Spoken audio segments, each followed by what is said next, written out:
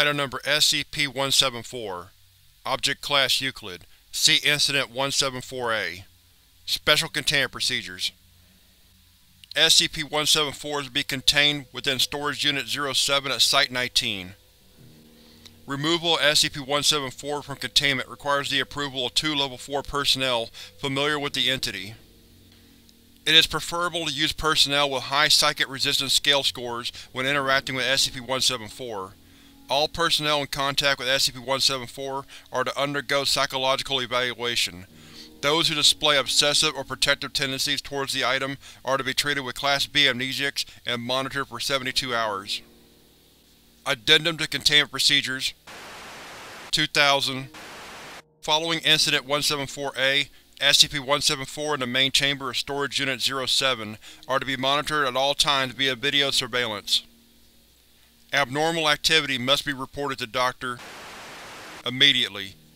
Furthermore, a GPS tracking device is to be installed on SCP-174 in order to expedite recovery should the item translocate outside of Foundation custody. Description: SCP-174 is a wooden ventriloquial figure measuring 21 cm from head to toe, with somewhat ragged clothing and slight damage to several sections. Judging by the item's style and state of repair, it dates from the early 20th century. The eyes and mouth of SCP-174 can be manipulated by means of a mechanism inside the figure. When viewed in peripheral vision, subjects report on occasion that SCP-174 looking directly at them with an expression of longing or sadness. When subjects look directly at SCP-174, this anomalous expression is not visible. Viewing SCP-174 indirectly, such as in a mirror or a live video feed, appears to increase the likelihood of this effect manifesting itself. Personnel in the vicinity of SCP-174 report a general feeling of sadness or sympathy directed towards the figure, but cannot explain any reason for these feelings. Prolonged exposure can lead to personnel personifying the figure to greater extents. Those with particularly low Psychic Resistance Scale scores will in some cases begin to act as if SCP-174 were a living being, such as cradling it as if it were a baby. When informed of their abnormal behavior, all personnel revert to standard behavior patterns for at least several minutes. Subjects who place SCP-174 on their hand report an urge to converse with it. When questioned, they frequently report that the figure is lonely and needs companionship. The subject will also begin speaking for SCP-174 and manipulating its expression. When speaking for the figure, the subject's voice will take on a higher-pitched, childlike tone. Recordings taken with high-sensitivity microphones have determined that at no point does the figure itself actually speak or make any discernible noise. Regardless of the subject's experience, the act will be almost perfect. The conversation will quickly move toward a discussion of the figure's emotional state, particularly in relation to its past, in most cases leading to the retelling by the figure of a story of how it was abandoned or mistreated. No one story has ever been repeated, and therefore which, if any, is true is unknown. Researchers have theorized that SCP-174 may have low-level telepathic abilities, as each story seems to be based around a theme that will have particular resonance with the current subject. Past this point, subjects will show great affection for SCP-174, and will attempt to protect it from people who come too close or try to interact with it, in some cases with deadly force. Subjects often refer to SCP-174 as their baby, or use similarly strong terms of endearment when referring to it. This effect persists for several hours after SCP-174 and the subject have been separated. In at least one case the effect had not dissipated two weeks after final interaction. Whether the effect would have ever lessened is unknown, as the subject in question was terminated owing to lack of compelling reason for further study.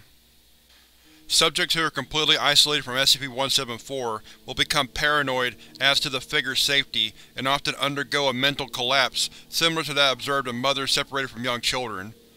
Class B or stronger amnestics have been shown to be effective in curing both the obsessive effect and a majority of any resultant mental trauma.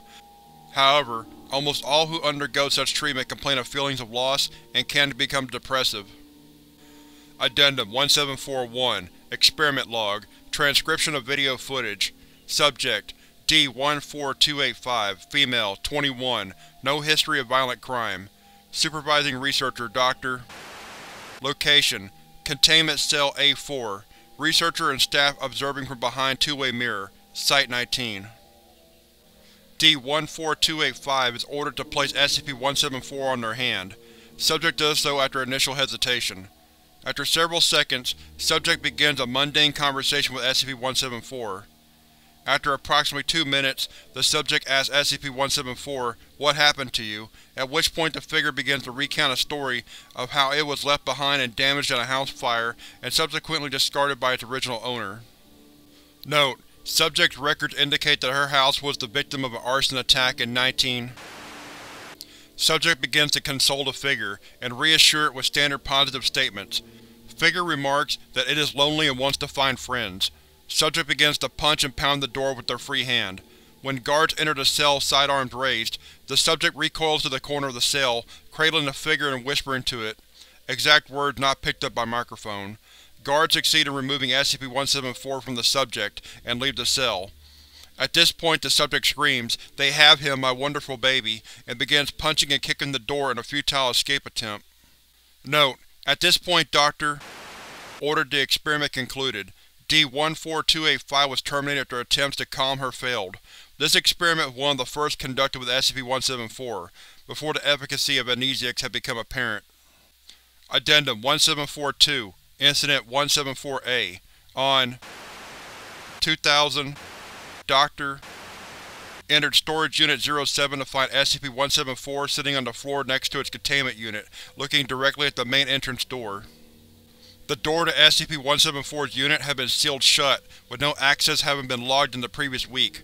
After being replaced in containment, video surveillance was installed within Storage Unit 07 as a precaution against future translocations, and a GPS tracking unit was attached to SCP-174.